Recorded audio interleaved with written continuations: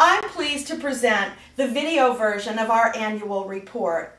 As you will see, our clubs and members continue to empower women locally and around the world. A special thank you goes to the many people who supported our programs through their donations. These donations demonstrate belief in the power of Soroptimist to transform the lives of women and girls.